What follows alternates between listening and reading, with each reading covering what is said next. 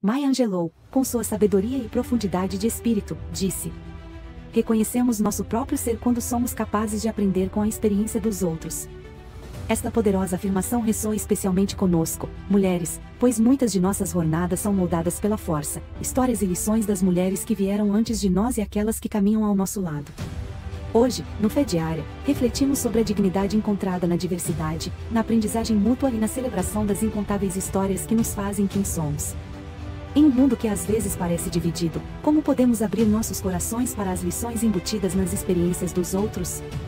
Como podemos tecer essas lições em uma tapeçaria de maior compreensão e respeito mútuo?